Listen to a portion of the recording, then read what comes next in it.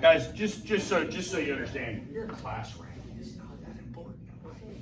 I mean, it's important for you to get into a college, but here's here's the great thing. Just so y'all understand, right? I'm I'm gonna sound really arrogant here for a minute. I'm I'm really really intelligent, right? And I have like five degrees at this point in my life, right? I graduated 780th or something in my class. 780. Like 840.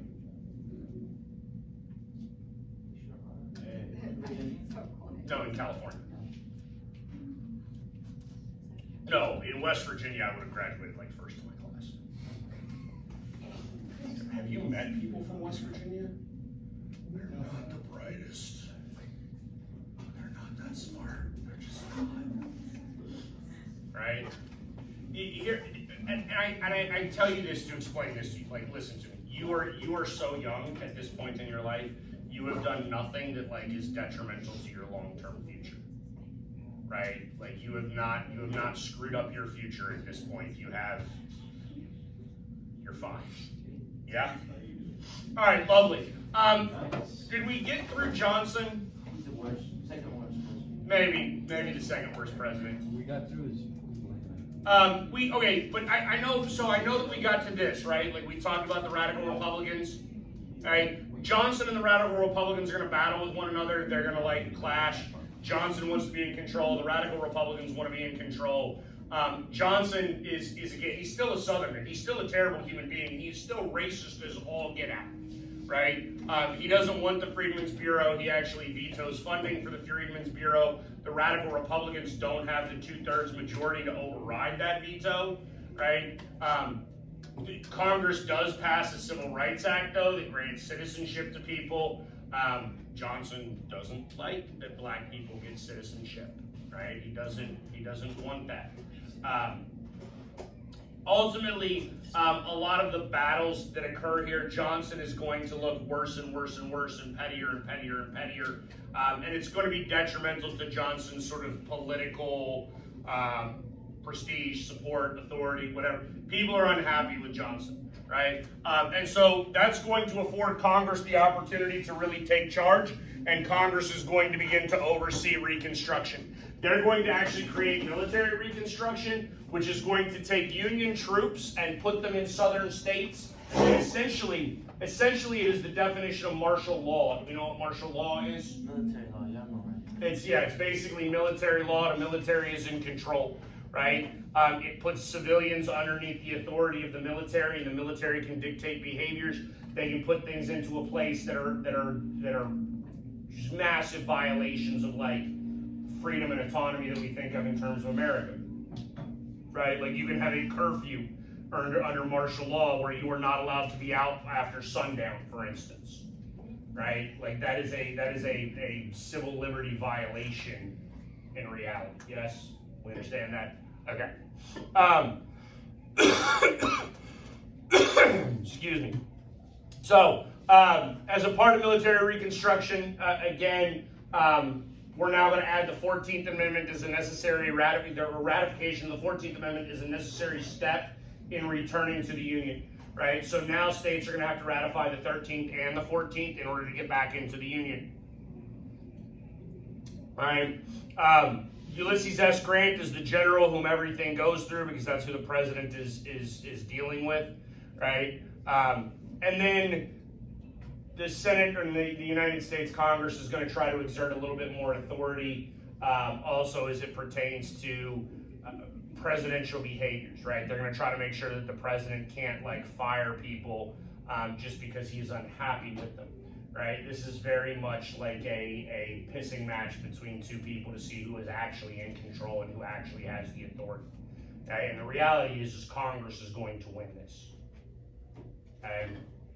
Right? When we go back and we look at American history up until this point, we should understand that there have really only been two presidents in American history at this point in time who have sort of exerted significant control, right, and acted in a more authoritarian manner than what the Constitution dictated, right? And that's Andrew Jackson and Abraham Lincoln. Right? And we generally give Lincoln a pass because that happens during a time of war, and presidents get like war powers that, that, they just get. And um, this leads to some significant social changes in the South as a result of all of this. And um, when radical Reconstruction begins, right, and we have Union troops stationed in the South, Union troops are going to utilize their federal authority, right, to help protect things like civil rights. And there was a, a statement on, on a slide or two before, right, that, that Congress had actually passed a Civil Rights Act, right? That's part of what provided citizenship to uh, all black people right? We go a step further, and the 14th Amendment actually has a citizenship clause in it that says anybody born in the United States or naturalized to the United States is a citizen of the U.S. and the state that they live in, other than Indians, right? Indians are not, no, no, Indians do not become citizens until like the mid 1900s. You understand that? Like Native Americans have been U.S. citizens for less than 100 years. Less than 100 years. Okay? Um, but we are going to do a lot for the former slaves here initially. Okay? Um, so, as the radical Republicans and the Union Army is exerting control, black people are getting the authority to vote, they're getting the right to vote, and that right is being protected right? You have Union troops that are that are going to polling locations to ensure that black people are afforded their constitutional right to vote. Okay? That leads to black people being elected to state legislatures. That leads to black people being elected to um, Congress from the South, right? Like we have actual representatives, um, black representatives from southern states as a direct result of um, sort of Republican control of Reconstruction and the military ensuring that civil rights are being protected. And now, what happens in the South is that the South is essentially going to use radical Reconstruction as the justification for a smaller aspect of the cause of the war, right? So when we go back to the causes of the war, right, there's this sort of mentality that, oh, the North is trying to like control us and, and, the north is tyrannical over the south. And the south we just want to live our lives. Like we don't we don't want to be influenced by the north. The north is trying to tell us what to do. Well guess what? During reconstruction that actually looks like it's 100% true doesn't it? Right? You have all sorts of northerners right and actually that's called carpetbaggers right carpetbaggers are people that, that came from the north right? And they come down to the South and they set up businesses and they like start sort of trying to influence society and culture in the South. You have the Union Army that's dictating all sorts of behavior, right? And so now, right, we have this myth of the lost cause where the war was really, it's really about, it's the war of northern aggression. Like, have you ever heard that term? Because that still gets thrown around in like southern places now, right? That the the the Civil War is the war of northern aggression. That's what Southerners call it. Okay, which is obviously a very loaded political ideology. Yes. All right. Um, additionally, we're going to see the creation of the KKK or the Ku Klux Klan. Okay, so uh, there was a, a Confederate general named Nedford, Ned, Nathan Bedford Forrest. Right, this is the dude Forrest Gump is named after. Go watch the movie. His mom even tells him like sometimes people make bad mistakes and that's okay, but like you can still be a good whatever. Anyway, I don't care about the movie. Okay, but yeah, this is where Forrest gets his name from. Is Nathan Bedford Forrest right? There's even a part in the movie where he talks to Forrest Gump and he's like slow. And he was like, they used to dress up in their bed sheets and ride around on their horses. Okay, um, so the KKK is created. The KKK is, by definition, you cannot provide a different definition, is a terrorist organization. You understand that? And terrorist organizations are organizations that utilize terror tactics right? That means that they are trying to scare you into behaving in a manner in which they want you to behave. Okay, and therefore they're going to utilize a lot of tactics. Some of them are downright like murderous. Yes, and um, the KKK is going to be responsible for things like lynchings and killings. And um, but sometimes it's not actual like violence, right? Um, but it's just a threat of violence. And um, and so that is by definition a terroristic uh behavior, a terroristic tactic, right? And so these are the people that then become sort of the redeemers, right? Um, again, that's sort of another vocab term that you need to be aware of. Redeemers are those people that want to restore the South to its former glory, right? Because the South was a wonderful agrarian place. Again, remember, like, we fed the slaves and we loved the slaves and we cared for them like they were families, right? And because these people actually believe this, like, they buy into this mentality, this narrative right? Um, which is what is, has further created all sorts of issues within American culture and society over the years, right? Because you have people that genuinely believe, like, oh, slavery wasn't that bad, right? Um, and then the other group of people that you need to be aware of are the scallywags. Scallywags were just the uh, Southerners who were opposed to secession, right? Um, these are essentially your your they would probably be, be, be referred to as race trading Southerners, right? Um, black people would not have been scallywags, just so you understand, right? Like if you were a free black man in the South, you would not really have been referred to as a scallywag. You, would have been referred to as another word that I'm not gonna say, right? Um, but like, like you would have been treated uh, after the war is over, you'd have been treated the exact same way that our, our, our freed slaves are treated, right? Uh, it doesn't matter that you were free before the war, and like, no, you just lumped in with all those people that are now free, right? The scallywags would have been your southern whites that, for whatever reason, are not in favor of secession um, and are more Union sympathizers. Okay? Um, the South or Southern states are going to pass what are called black codes right? And eventually we're going to learn these to be called Jim Crow laws. Okay? Um, these are laws that are put in place that are aimed at recreating uh, antebellum Southern culture, right?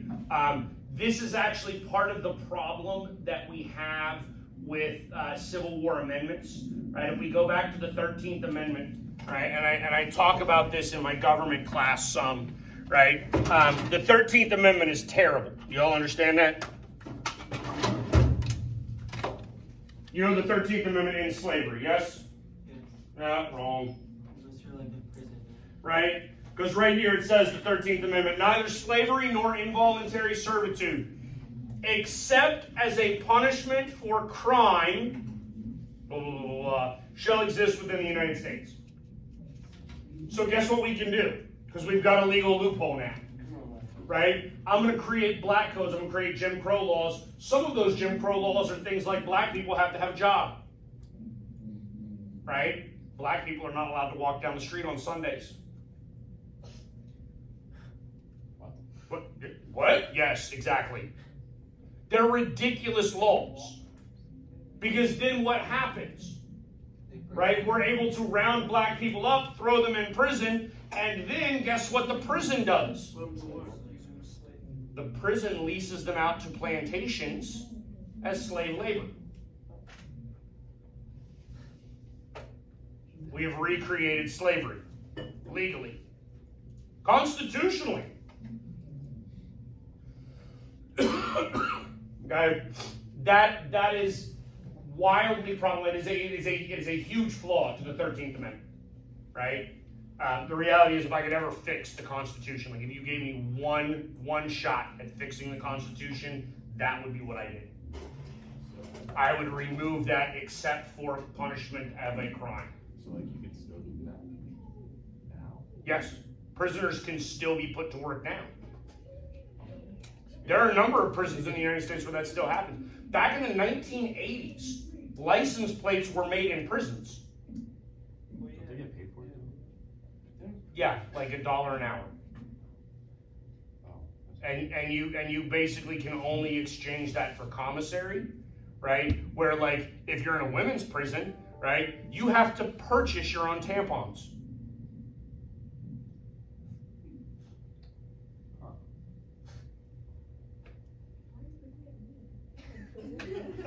Because you're a woman and they're, they're boys and they don't understand.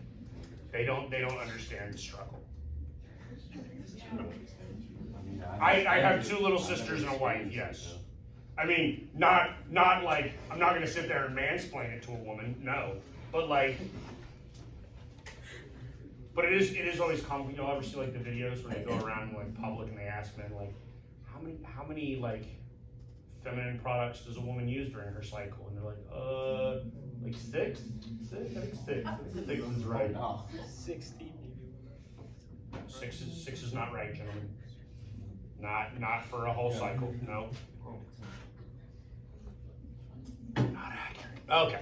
Um, so this gets into the convict leasing system, which is basically what I was just explaining, right? White people are going to be sent to work on black. Uh, sorry, black people are going to be sent to work on white farms. I got that backwards there for a second. Okay. Um, again, this is all aimed at trying to recreate the hierarchical racial structure that exists prior to the Civil War. And the other thing that happens, and this is a cultural issue, right, is that you have a create the creation of what's called the sharecropping system. Now, I want you to understand, sharecropping is actually appealing to black people initially for two major reasons, right? One, if you are a former slave, right, you are a field hand in, say, Mississippi. What skills do you have in life? Farming. Farming. You're gonna grow cotton. That's, that's it. That's the only skill you got in life. Right? So now you're free. You have an opportunity to get a job. What job do you want to get? Farming. The one thing I know how to do. So that I can theoretically make money and provide for myself and like create a better quality of life. Yes? That all makes sense, doesn't it? Okay. So that's one appeal to sharecropping. The second appeal to sharecropping, the way sharecropping works, right, is you have this plantation. So let's just say it was a hundred acre plantation, right, or a thousand. Let's say it was a thousand acre plantation, right. What we're going to do is we're going to divide that into 50 acre plots. Okay, so if my math is good, that should be 20, yes? 20, 50 acre plots. My math good, Tyler? I don't do math very well, right? Right, 50 times 20 is a thousand. Okay, wonderful. So we're going to create 50 acre plots, okay, and we're going to rent those out. Like if you're the plantation owner, because now you you have a thousand acres, but you ain't got nobody to work it, right? So as the plantation owner, like you also need sharecropping because I need I need people to come work for me. So what I'm going to do is I'm going to give the the former slave 50 acres, right? And he is going to work that 50 acres. Well, guess what that also does for the former slave? Well, we would hope, but no, right? And we'll see why why it doesn't happen here in a second, right? But they're renting that land. Where's the oversight?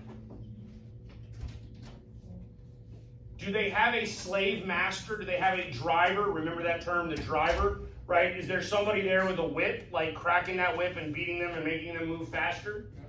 No. Sharecroppers are not at the sort of whim of uh, uh, um, white people, right? Like they, they, they are existing um, sort of generally free from white oversight or white control of their day to day lives. Now, if they go to work in a factory, right, if they want to go to work in a textile mill, for instance, that's not true.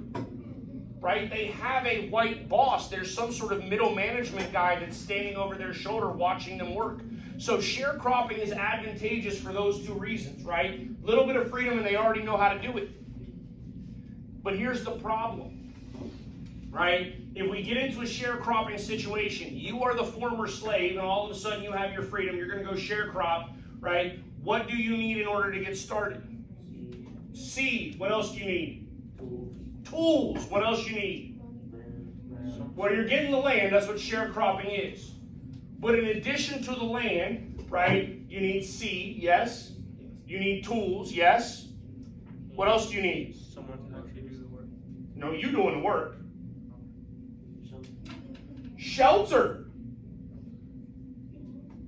Food. Clothing. Right? Like those three things were things that were provided to them as slaves. Right? But now they have to pay for it. But they don't have no money. So how are they buying it? Credit. Right? Who are they getting the credit from? The plantation owner. Oh crap. Wait, but Mr. Brandon, wasn't the food, shelter, and clothing coming from the Freedmen's Bureau? They were helping some, but that doesn't mean that the Freedmen's Bureau had the budget to provide food, shelter, and clothing for everybody. You're talking about millions of now freed peoples. Yes, the, the, the Freedmen's Bureau, is essentially charity. they are helping some, but not like, they, they, they can't provide all the help.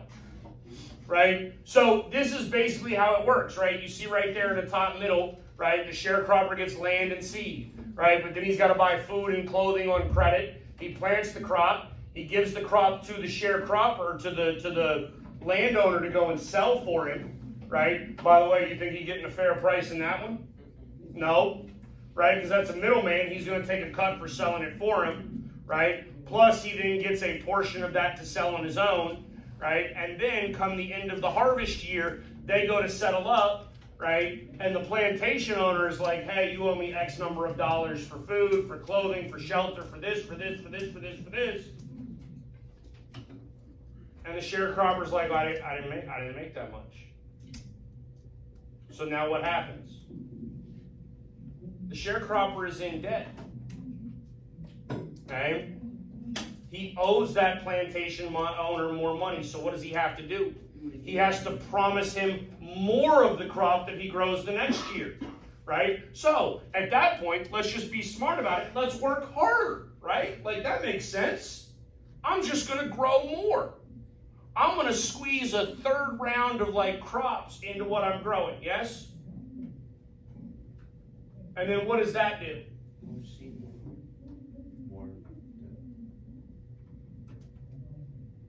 Basic supply and demand. I create a whole much a whole bunch more cotton, right? I grow a whole bunch more cotton. What happens to the price of cotton? It goes down significantly. So now I grew all of this extra product and I didn't actually make any more money. Because when I used to sell, sell a bale of cotton for, say, $5, now I doubled my production, but I'm selling every bale of cotton for 250.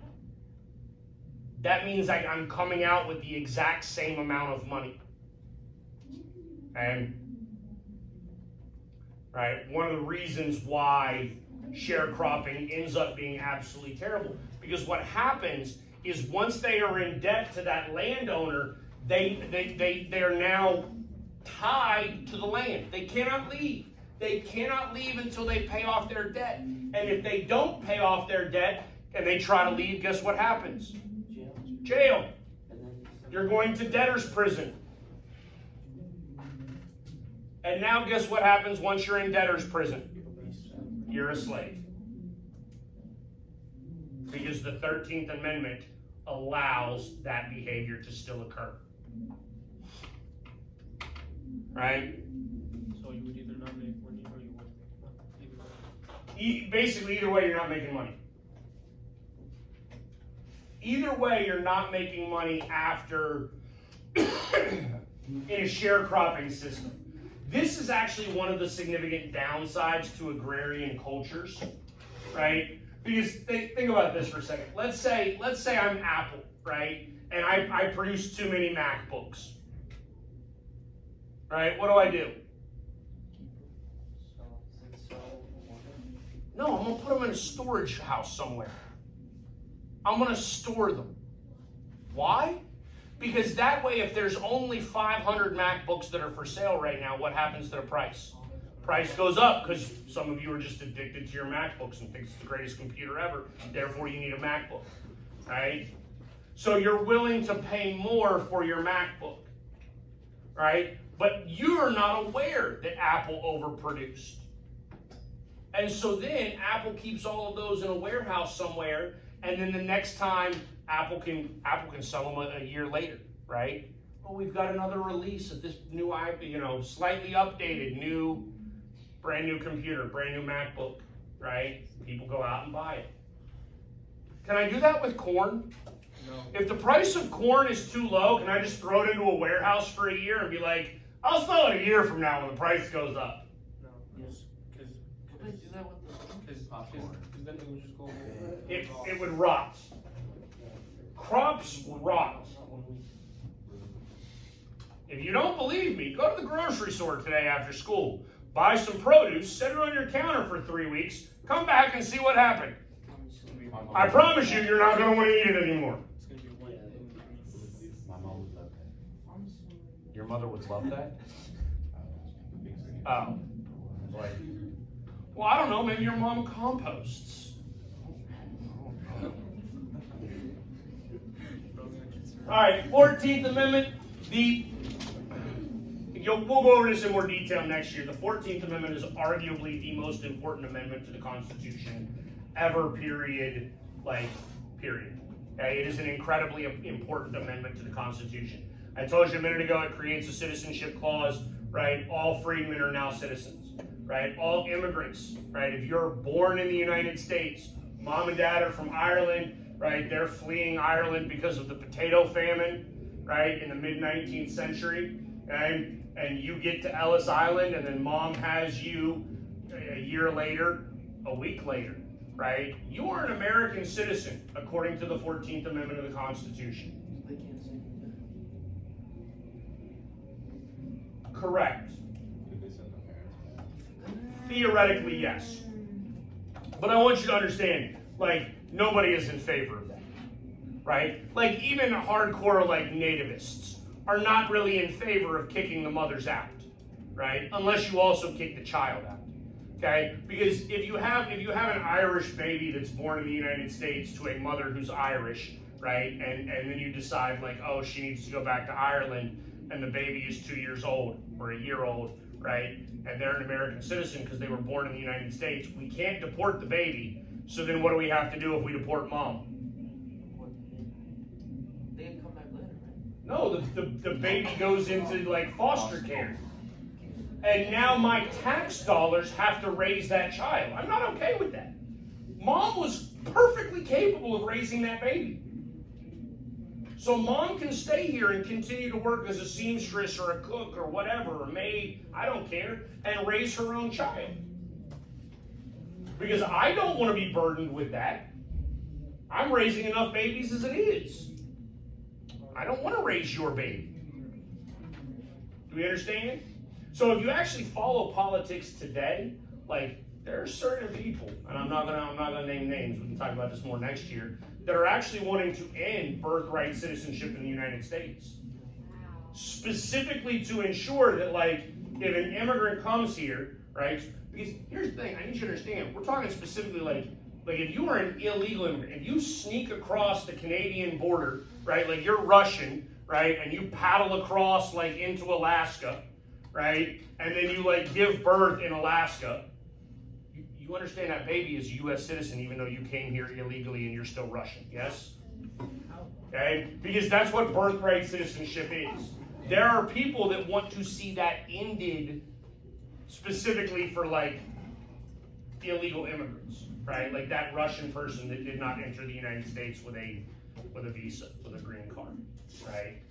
Um, I, I, I would hope I would hope that the, the hardcore people that are trying to get rid of that policy don't want to like if you're here legally, you know what I'm saying? Like if you've got a green card and you come here legally, I hope they're not trying to like deport that child as well when mom leaves. I would hope, but I don't know. I, I don't have a lot of faith in humanity anymore. My, my faith is waning, unfortunately. All right. Um, 14th, uh, we just talked about the 14th Amendment, right? Um, we'll talk about it in a little bit more detail when we come back after Christmas. Um, because the Supreme Court is not going to uphold some of these provisions in the 14th Amendment initially, right? But we do have a due process clause, we do have an equal protection clause. The 14th Amendment is designed to ensure that everybody is treated equally under the law, right? The election of 1866, uh, the radical Republicans win a, a, majority in both houses. They're going to control pretty much everything uh, moving forward. They're actually going to go to impeach Andrew Johnson, right? What was Andrew Johnson's crime? They didn't like him. Uh, no, I mean here's here's the problem. They actually impeach him because they don't like him, right? Um, it, it's not it's not the best it's not the best look right? Um, andrew johnson is the only president in the history of the united states that is impeached all the way up until the 1990s right? And then bill clinton gets impeached and why was he impeached? What was his actual crime?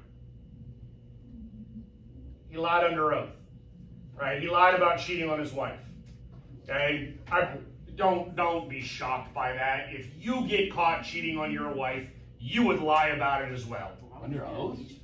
That's why he. Uh, yes. Deny, deny, deny.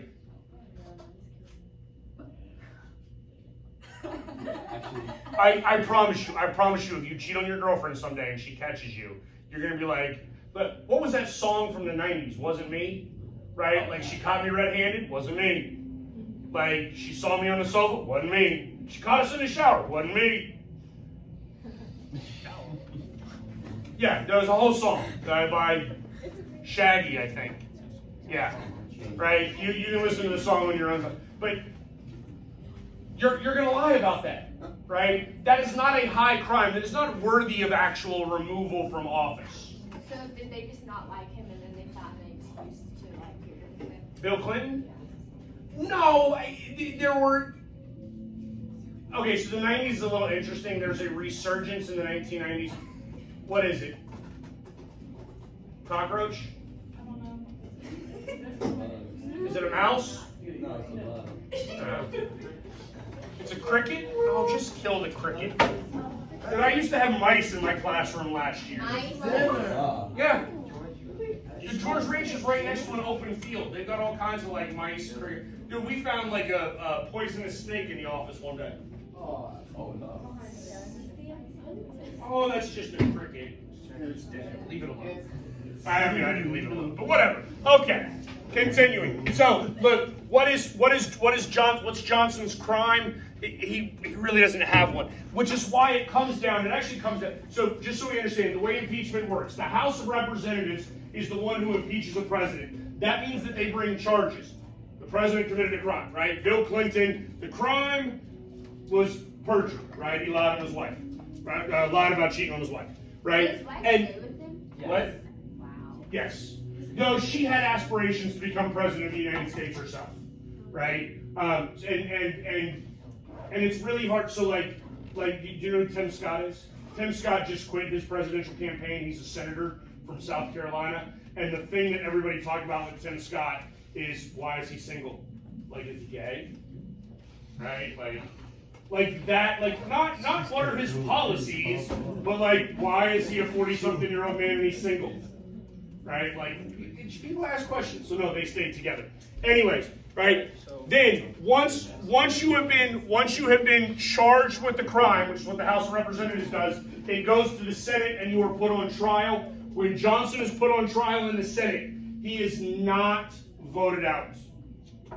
Basically by one vote right? And the guy who quits, right? And he's like, look, we can't, we can't do this because there's not enough evidence, and this is a terrible precedent to start because then we're just going to start impeaching people because we don't like them, right? Why did we impeach Donald Trump? Because we didn't like him. So we, we could do that. No, here's here's the thing. Like, if you actually go back and you look at, like, like you know what Donald Trump actually got impeached for the first time? Because they tried to impeach him twice. You know what his actual crime was the first time? He paused too long in a conversation. Wait, what? So the, the whole thing, the whole thing was whether or not whether or not Donald Trump was was looking for some sort of quid pro quo with Ukraine, right? Ukraine was asking the United States for aid. Donald Trump was like, "Yeah, I'll give you aid." I want you to investigate this guy for like political corruption. Well, here's the thing. If we're going to withhold aid unless Ukraine does that, that's quid pro quo and that's not okay. But, like, was it a comma or a period? I will do this for you, period. I would like you to do this for me.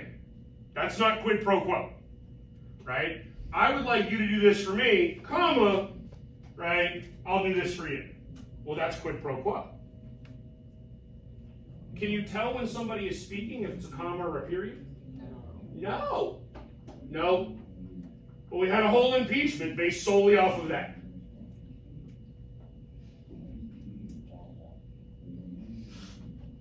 Right? I mean, it's, that was his. That literally is his first impeachment. Is is that?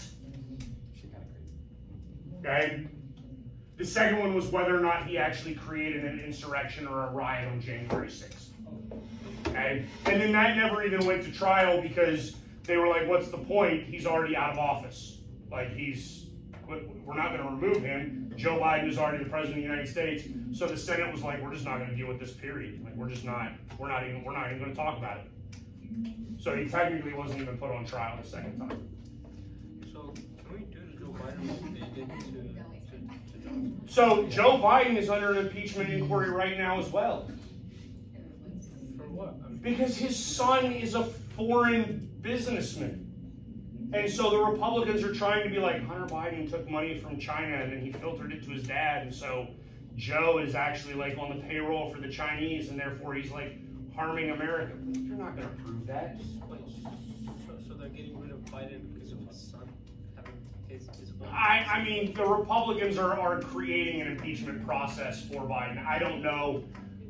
I mean, look, the Republicans control the House of Representatives. They'll probably vote on it and it'll go to the Senate and nothing will happen. And this, the Democrats control the Senate, so I would imagine they won't do anything. They won't even put Joe Biden on trial. Because unfortunately, it's all political now. And, and here, I mean, look, here's the thing. Have we found a smoking gun where Joe Biden has definitively done things wrong? No. No. But there's significant issues within government. And again, these are all conversations for next year. Because you understand that Donald Trump is under indictment right now for like mishandling classified documents, yes? Like that's one of the things that he's on trial for. And they found classified documents in Joe Biden's garage next to his Corvette. Oh, wow.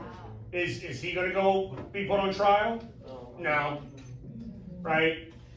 And here's the thing, just so you understand, it's not even a Republican Democrat thing, because they caught Mike Pence with documents that he shouldn't have that were classified that he, were not secure. Right? Is anything gonna happen to Mike Pence? No. No. Alright. Let's get back let's get back to to what we're what we're doing. All right. So uh, by 1870, right, Republicans are in control of the South. They're going to create the 15th Amendment, which is the, voting rights amendment for Black people, right? Um, that's now going to be another requirement to get back in. Oh shoot! I think I'm missing a couple of slides at the very end of this. Okay. Um, just so you understand, one, a lot of the civil rights and racial issues that are coming about right now are only applicable to black people, right? I already told you Native Americans don't become citizens until the 1950s, yes? Right? Well, also, California, like, they don't want the 14th and 15th Amendments to apply to the Chinese, right? Because there's been a number of Chinese, we haven't really talked about Chinese immigration, right? But there's been a significant increase in Chinese immigration along the West Coast because Chinese individuals are coming over and they're actually working as laborers to help build the Transcontinental Railroad, which we haven't really talked about either, right? Um, but they're essentially like menial laborers, um, and they come over with their own like culture. Like, hopefully, you realize like Chinese culture and, and European culture are not the same, right? Like, hopefully, we understand that, right? They come over with their own culture, and, and white people in, in, in California they don't they don't like that, right? Like they're they're because the reality is is is a lot of immigrants come into the United States and they don't actually try to assimilate, right? Um, and I think that if, if if immigrants came here and tried to assimilate, people would probably be less opposed to them, for lack of a better term. Yeah? All right, um, so understand that. So the Chinese don't get a whole bunch of stuff uh, either. Reconstruction will end with the Compromise of 1877, right? Yeah, I, I don't know why that slide is missing. Um, but the, the Reconstruction ends with the Compromise of 1877. Rutherford B. Hayes and Samuel Tilden are running for President of the United States. Neither one of them gets a majority of the Electoral College. There's some disagreement even about the validity of the election. Okay? And ultimately, the Democrats, who want Tilden to be the president, are going to let Rutherford B. Hayes win the election. They're going to certify the election results for Rutherford B. Hayes in return for the ending of Reconstruction and the removal of all troops from southern states. That ends Reconstruction essentially overnight. Now, there were some states that had already met the requirements and the troops had been moved out prior to that point, but we essentially do it overnight. That withdrawal of all of those troops and all of that Republican support is what creates really a power vacuum that allows the KKK and the Democrats to regain control in the South and then really implement those black codes and Jim Crow laws and create a segregated society that we will see all the way up until the 1950s. All right? So, you have a quiz tonight